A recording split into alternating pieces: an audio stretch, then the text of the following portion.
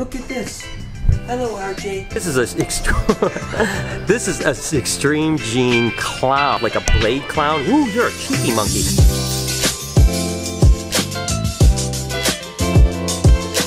Hey, good morning, everybody. Welcome to the vlog from Chicago. We had an absolutely incredible time last night with David Dobrik and the entire gang. And guess who I had sleeping in my bed last night? Look at this. Hello, RJ. What are you doing, buddy? He absolutely loves the pillow.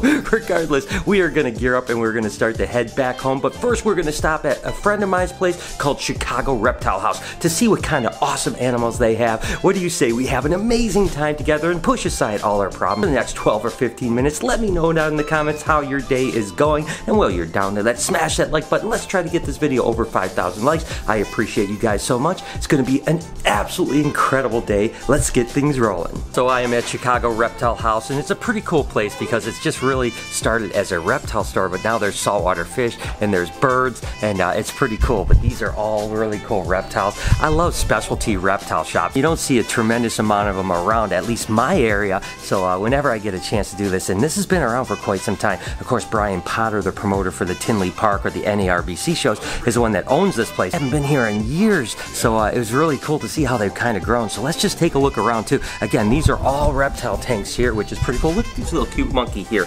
Look at this guy. Oh my gosh, a little there. Oh, a bunch of little hypoboas. Oh my gosh, they're so cool. Ball python tank. Oh God, that's awesome. And this is the fish part over here. This is all of the marine fish. Look at these. Oh, look at the little puffer here. How cute is that? Got some wrasse over here. Got all kinds of stuff. Oh, some clownfish. Oh my gosh, that's so cool. Take a look at, oh wow. Whoa, look at that. That is so gorgeous. I absolutely love marine fish. I definitely have to set up a marine fish tank at some point. So these are all the birds here. So uh, there's all kinds of cool stuff. Oh my gosh, and Noah loves birds. So take a look at this one. Oh my god, he is so pretty. Oh, and the scarlet macaw. Look at how cool that is. Oh my gosh. Oh, hey bud, what's going on? These guys are all so cool. Oh, look at this, look at this. Oh, look at you, hi. Hi, what are you doing, bud? Hello, you're puffing up, aren't you? What's going on? it's cool. So let's go ahead and take a look at a couple reptiles. Yeah, and I absolutely love places like this because they just have such an eclectic collection of cool animals. This would happen to be a hypoboa. First hypoboas actually came from a guy named Jeff G out in Arizona, and uh, he produced them. He didn't even know that they were a genetic mutation. He just thought they were really light boa constrictors because he didn't have a really good handle on the genetics behind things. And then realistically, over the next few years, actually realized that they were a co-dominant mutation. And uh, when you bred them to a normal, about half the babies came out. And what really it's all about is it's just lacking melanin, but you can always see down at the very tip of the tail, they're still black around the saddles. After those first couple saddles, all the black that borders the saddles basically goes away and it makes it just kind of a, a more just subtle look and stuff like that. And again, when you breed them together, you can get supers as well. So it's uh, it's just an absolutely beautiful thing. And these were kind of early mutations of boa constrictors, so it's cool to see them here. Take a look at how pretty this bearded dragon is. Its name is Leonard, and it's got this really beautiful red look to him. You know, the red stuff all really started at Sandfire Dragon Ranch out in California, and uh, it's basically a polygenic trait, which just basically means you're line breeding them to produce really beautiful beautiful animals. And there's all kinds of line bred traits with bearded dragons now, yellows and whites and, and of course reds. And basically what that means is you just breed like the reddest animals together and then the, every generation that goes by, they get more red and more beautiful. So uh, Leonard here is pretty cool. Take a look at this cute little monkey here. This is actually a frill dragon. And of course these are the ones that can pull out these frills and make them really big. And there's really two varieties. There's the Indonesians and then there's the Australians. The Australians are the bigger variety of them, uh, but they're actually really cool. One of the things is they need a little bit higher humidity, so a lot of people kind of make the mistake with the frillies of keeping them kind of like a desert lizard, but the truth is, is they need that humidity or they kind of do bad, but uh, they're absolutely amazing. Again, that defense mechanism, they'll blow these big flaps up, that's why they call them frill dragons, and they make their heads look really big to kind of fend off other kind of predators and stuff like that, but I've absolutely always loved frill dragons, and believe it or not, the first time I ever saw a frill dragon in the wild was in Darwin, Australia, and it was in a schoolyard, believe it were literally in the middle of a schoolyard. There was a bunch of frill dragons just running around. It was so cool. Take a look at these cute little things here. Of course, these are carpet pythons. And I've showed you albino carpet pythons at my place, which are really beautiful. But this is a little zebra carpet right here. This is actually a codominant mutation. So when you breed them together, you can actually get solid yellow carpet pythons. Uh, and of course, a lot of times the zebras are really dark black and yellow when you breed them into jungles and stuff. So they can really be beautiful. So they just have like an increased amount of banding. in they're absolutely incredible. Now the bad thing is, is that sometimes the super zebras can be a little genetically flawed. So again, there's this thing that's called like all recessive concentrate. So when you're concentrating a color or pattern mutation, sometimes you also concentrate other little mutations in the gene. So uh, zebra carpets are really beautiful, but also have a little bit of a glitch to them. But uh, aren't these guys absolutely adorable? Gosh, I tell you guys, I have been falling in love with tortoises. I think that's bringing Speedy back to the shop has kind of rekindled that tortoise thing. As a matter of fact, I talked to you guys. I really want to get either a Galapagos or an Aldabran tortoise pretty soon. I just gotta have one in my life. But this is another tortoise that I've always loved. When I was really little, uh, I used to see these at the pet shop, local pet shop, and they were like 20 bucks. These, of course, are what they call leopard tortoises. And look at the pattern and color on that animal. I mean, they're one of the really most beautiful tortoises. You know, now they're not nearly as common as they used to be. With all tortoises, a lot of times they become threatened because their environments are being deforested or people are eating them or even the pet trade for that matter. So leopard tortoises are a little more rare and certainly a lot more money. And uh, these guys will get big. I've seen some leopard tortoises as big as Speedy already. It's pretty cool. Uh, again, I really love tortoises. I wish I had more space, but in Michigan, it's hard to keep something. Even getting something like a Galapagos Aldabra, the giant tortoises, are going to be a little difficult to figure out where we're going to put them, but uh, I'll figure that out later. My buddy Brian, who owns Reptile House here, also breeds a lot of really cool ball pythons. I will put his link in the description to his site. You guys definitely want to check out his stuff. It's pretty awesome. But this is actually our caramel glow, which is really an awesome animal. You don't see these too often anymore.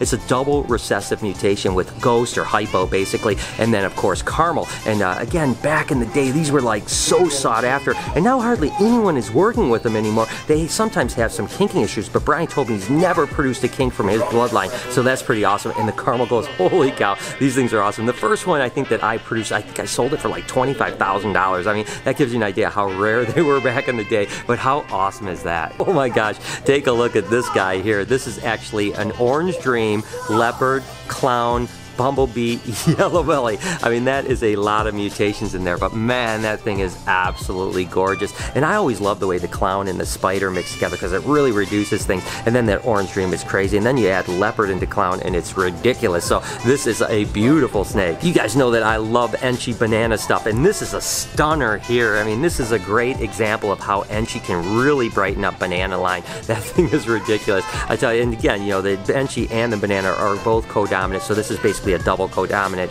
And uh, if you breed these to something else, you're going to get a lot of really cool stuff. I love it to go to cinnamon because cinnamon Enchi bananas are ridiculous. And this is another one of the spider clown type things, but this is actually a killer bee clown, which is a super pastel spider clown. Again, look at how that reduces that pattern. Oh my gosh, I tell you what, I don't care about what anyone says. I think ball pythons are some of the coolest animals on the planet. Remember I showed you guys back at the building that I work with the extreme gene and how it's really cool when you get it into certain animals? Well, I've never seen this. This is a this is a extreme gene clown. I mean, look at how reduced it is. There's something that's called like a blade clown. Ooh, you're a cheeky monkey. There's something that's called a blade clown, which is basically that reduced pattern on the side. But this is an extreme gene, which is much more. And this thing is really upset, but it is gorgeous, isn't it? Just so you guys see, this is what the extreme gene looks like. Again, I've showed you extreme gene stuff, but I've never showed you the actual mutation itself. So really, it's just kind of like a normal ball python that has a reduction of pattern, but it's genetic, so you can breed it into other things, and it ends up passing down from there. So that thing is cute.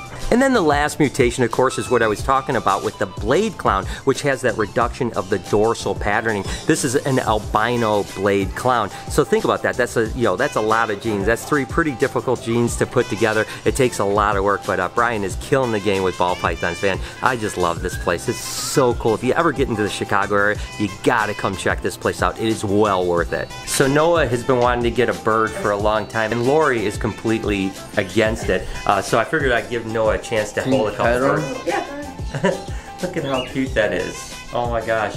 Of course, Noah really wants to get like a bigger bird, like an African gray or a cockatoo. But uh, this is this It's might so be a cool. good. Look at the color on this guy. It's awesome. Awesome, isn't it?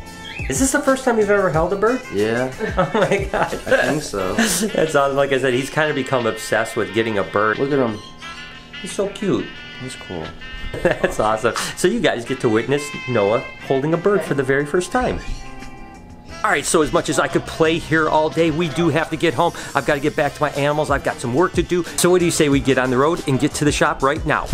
And I'm back here at the shop. I tell you what, that was a whirlwind travel. I really do have to start thinking about doing some things where I get a little bit of sleep because I seem to always be going with little to no sleep. But that reptile house is an absolutely cool place. I love visiting reptile specialty shops, so that was absolutely awesome. But we have to get RJ back in his pond. I tell you what, guys, it was absolutely a really special time with RJ. It's been a while since I've kind of taken him on an adventure, and I was so pleased with the way he kind of interacted with everyone. Never did he open his mouth, no aggression whatsoever. It was like the old RJ, so I just kind of have a renewed kind of interest in working with him daily to keep him this puppy dog tame. I mean, people loved him and he made a huge difference. I mean, so many people were like, oh my God, I never thought I was gonna get a chance to pet an alligator, be up so close. So it was absolutely incredible. But I'm telling you what, I'm sure that even though he had a little bathtub time, he's gonna be excited to get back in his pond. So when you say we go ahead and put him back? Come on, bud. There we go, bud. There we go, bud.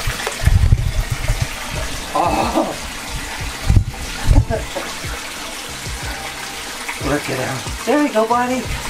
Oh gosh, RJ is so amazing. And again, it's like I said, just it was so cool. Literally this morning, I spent like an hour, hour and a half just laying in bed with him. He just had his head up on the pillow and just had hung out with me. I mean, it's been a while since I've had that kind of interaction with him. I take him out a lot, but to really spend the time with him that I did this weekend was really special for me. And I was so excited that even though he's much bigger now, he's still just as well behaved. But you know, as I was driving home, I was thinking of so many different things. I'm thinking like of this animal and that animal. And the one animal I haven't updated you guys, and, and quite frankly, I haven't even had a chance to take a look at for a little while, was Smiley. So what do you guys say we go look at Smiley and see how he's doing? And of course, here's my boy Smiley. I tell you what, I just absolutely love pies. And it's funny, I don't know, do you guys do that sometimes when you're driving? You just start thinking like, oh, I gotta check this out. I can't wait to get home to see this. This was the animal that I kind of really was thinking about and thinking, I gotta get home and see him and see how it is. Of course, I want to see everything, but uh, this guy popped in my mind. I love pies. As a matter of fact, I'm getting a whole bunch more pies again this coming week, so it's gonna be really cool. I just love getting them. And it's just awesome to get a new batch because you never know what you're gonna get. Every batch that we get, I keep two or three of them, so I'm kind of growing that group of animals because they are so amazing. Regardless, I'm gonna just kind of walk around, make sure everything is okay here, and then I'm gonna get out of here because I haven't slept in a while. Truth be told, I still have to edit the vlog, so uh, it's gonna be a late night, so I'll run home, check and see what Lori is up to, and then get to editing. So hopefully I don't fall asleep during it. But anyways, there's an update on Smiley. Just, hey guys, hey guys, good to see you. Lori, I'm home. Are you excited? I'm so happy you're home. Oh, I miss so much. she always does this. She's always so fake. Like Zeus is jealous. too. Zeus is jealous. The, the truth is, is that whenever me and Lori hug, Zeus is barked because he just is so jealous. You're such a jealous puppy dog. So guys, it is so good to be home. I'm going to be honest with you. I am buckled. I have not slept hardly at all, and I tell you, we have been traveling like crazy. But I'm definitely going to need to get some rest. There's no doubt about that. I hope that you guys have enjoyed this journey. Thank you so much for all the support you guys show me. You guys mean the world to me, and I love you guys so much. Can you do me a couple favors before I get some rest? Can you smash that like button as well as turn those post notifications on so you know when I upload a video, which is every day, seven days a week at 9 o'clock in the morning Eastern Standard Time. Remember to be kind to somebody, and I promise I'm going to see you guys tomorrow.